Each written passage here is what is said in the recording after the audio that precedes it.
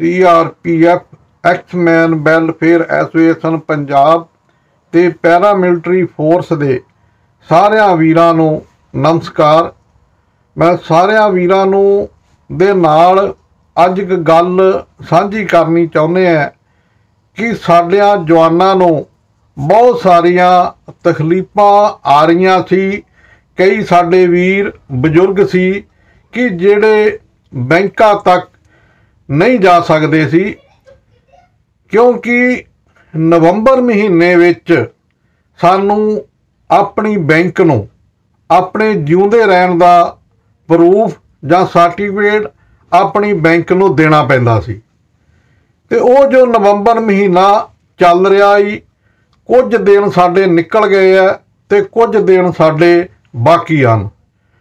ਤੇ ਅਸੀਂ ਸਰਕਾਰ ਦਾ ਬਹੁਤ ਧੰਨਵਾਦ ਕਰਦੇ ਹਾਂ ਕਿ ਸਰਕਾਰ ਨੇ ਸਾਨੂੰ ਇਹ ਸੁਵਿਧਾ ਹਾਸਲ ਕਰ ਦਿੱਤੀ ਹੈ ਕਿ ਜਿਹੜਾ ਕੋਈ ਬਜ਼ੁਰਗ ਹੋ ਗਿਆ ਜਵਾਨ, ਉਹਨੂੰ ਬੈਂਕ ਜਾਣ ਦੀ ਲੋੜ ਨਹੀਂ ਹੈ।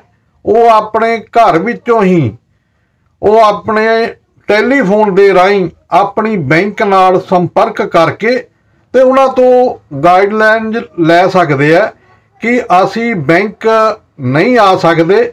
ਤੇ ਅਸੀਂ ਆਪਣਾ ਜਿਹੜਾ ਸਰਟੀਫਿਕੇਟ ਹੈ, ਉਹ ਕਿਸ ਤਰ੍ਹਾਂ ਜਮ੍ਹਾਂ ਕਰਾਈਏ?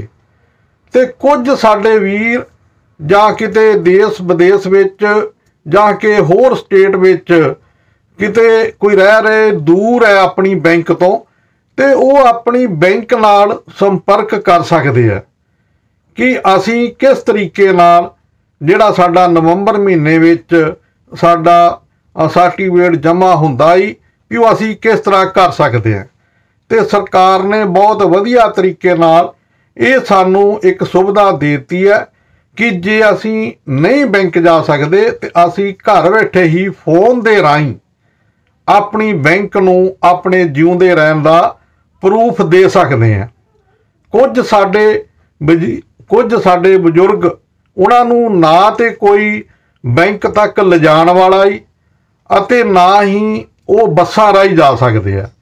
ਤੇ ਉਹ ਆਪਣੇ ਘਰ ਵਿੱਚੋਂ ਹੀ ਆਪਣੇ ਫੋਨ ਦੇ ਰਾਹੀਂ ਕਿਸੇ ਦੀ ਹੈਲਪ ਲੈ ਕੇ ਤੇ ਉਹ ਆਪਣੀ ਬੈਂਕ ਨੂੰ ਇਨਫੋਰਮੇਸ਼ਨ ਦੇ ਸਕਦੇ ਆ ਕਿ ਤਾਂ ਜੋ ਉਹਨਾਂ ਦੀ ਜਿਹੜੀ ਪੈਨਸ਼ਨ ਹੈ, ਉਹਨਾਂ ਦਾ ਬੁਢਾਪੇ ਦਾ ਜਿਹੜਾ ਇੱਕ ਸਹਾਰਾ ਹੀ ਤੇ ਉਹ ਉਹਨਾਂ ਦਾ ਚੱਲਦਾ ਰਵੇ ਤੇ ਉਹਨਾਂ ਦੀ ਜਿਹੜੀ ਪੈਨਸ਼ਨ ਨਾ ਬੰਦ ਹੋਵੇ।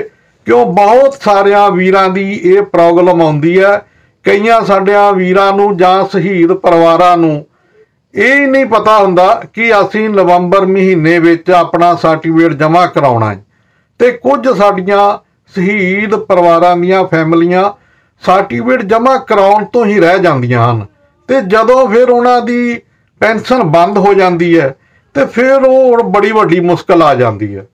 ਤੇ ਮੈਂ ਇਹ ਸਾਰੇ ਸ਼ਹੀਦ ਪਰਿਵਾਰਾਂ ਨੂੰ ਵੀ ਤੇ ਆਪਣੇ ਐਕਸਮੈਨ ਵੀਰਾਂ ਨੂੰ ਪੈਰਾਮਿਲਟਰੀ ਫੋਰਸ ਦੇ ਜਵਾਨਾਂ ਨੂੰ, ਸਾਰਿਆਂ ਨੂੰ ਇਹ ਬੇਨਤੀ ਕਰਦੇ ਆ ਕਿ ਨਵੰਬਰ ਮਹੀਨੇ ਵਿੱਚ ਜਿਹੜਾ ਸਾਡਾ ਸਰਟੀਫਿਕੇਟ ਜਮ੍ਹਾਂ ਹੋਣਾ ਹੀ ਉਹਦੇ 10-15 ਦਿਨ ਬਾਕੀ ਰਹਿ ਗਏ ਆ, ਉਹ ਤੁਸੀਂ ਜਮ੍ਹਾਂ ਕਰਾ ਸਕਦੇ ਹੋ ਜਾਂ ਆਪਣੇ ਫੋਨ ਦੇ ਰਾਹੀਂ ਵੀ ਕਰ ਸਕਦੇ ਹੋ। ਜੇ ਕੋਈ ਬੈਂਕ ਜਾਣਾ ਚਾਹੁੰਦਾ ਤੇ ਉਹ ਬੈਂਕ ਵੀ ਜਾ ਸਕਦਾ ਹੀ ਪਰ ਸਭ ਤੋਂ ਵੱਡੀ ਸੁਵਿਧਾ ਸਾਨੂੰ ਸਰਕਾਰ ਨੇ ਜਿਹੜੀ ਫੋਨ ਦੇ ਰਾਹੀਂ ਇਹ ਸਾਨੂੰ ਦੇ ਦਿੱਤੀ ਹੈ ਕਿ ਬੈਂਕ ਜਾਣ ਦੀ ਵੀ ਸਾਨੂੰ ਲੋੜ ਨਹੀਂ ਹੈ ਕਿ ਅਸੀਂ ਫੋਨ ਦੇ ਰਾਹੀਂ ਆਪਣੀ ਬੈਂਕ ਨੂੰ ਇਨਫੋਰਮੇਸ਼ਨ ਦੇ ਸਕਦੇ ਹਾਂ ਕਿ ਅਸੀਂ ਠੀਕ ਠਾਕ ਹਾਂ। ਤੇ ਅਸੀਂ CRPF exmen welfare association Punjab ਵੱਲੋਂ ਸੈਂਟਰ ਗਵਰਨਮੈਂਟ ਦਾ ਬਹੁਤ-ਬਹੁਤ ਧੰਨਵਾਦ ਕਰਦੇ ਹਾਂ ਕਿ ਜਿਨ੍ਹਾਂ ਨੇ ਇਹ ਇੱਕ ਸੁਵਿਧਾ ਐਕਸਮੈਨਾਂ ਨੂੰ ਦਿੱਤੀ ਹੈ ਤੇ ਲੋਕ ਇਸ ਦਾ ਫਾਇਦਾ ਲੈਣ ਤੇ ਆਪਣੇ ਜਿਹੜੀ ਰੋਟੀ ਰੋਜੀ ਦਾ ਪੈਨਸ਼ਨ ਜਿਹੜੀ ਉਹਨਾਂ ਦੀ ਆ ਰਹੀ ਹੈ, ਉਹਨੂੰ ਟਾਈਮ ਟੂ ਟਾਈਮ ਲੈ ਸਕਣ। ਸੈਂਟਰ ਗਵਰਨਮੈਂਟ ਦਾ ਬਹੁਤ-ਬਹੁਤ ਧੰਨਵਾਦ। ਜੈ ਹਿੰਦ।